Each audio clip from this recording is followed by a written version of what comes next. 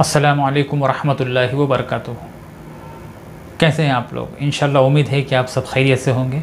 आज की हमत की बात, हाफिज़ इबन हजर रहमत ने मुनबिहात में लिखा है कि हद उस्मान रज़ी अल्लाह तु से कुरान पाक की इरशाद, वकाना तहत हो के बारे में पूछा गया। तो उनसे मंकुल है कि वो सोने की एक तख्ती थी, जिसमें सात सत्र लिखी हुई थी। जिनका तर्जुमा ये है कि मुझे ताज्जुब है उस शख्स पर जो मौत को जानता हो, फिर भी हंसे।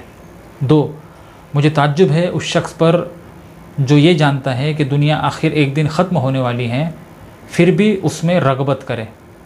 तीन, मुझे ताज्जुब है उस शख्स पर जो ये जानता हो कि हर चीज़ मुकद्दर से हैं, फिर भी किसी चीज़ के जाते रहने पर अफसोस करे।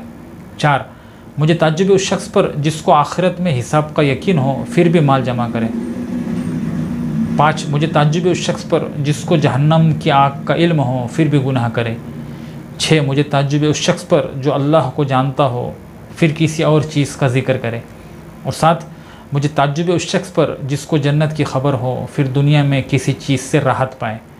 बाद नुस्खों में ये भी लिखा है कि, मुझे ताजुब उस शख्स पर, जो शैतान को दुश्मन समझे, फिर भी उसकी इतात करे।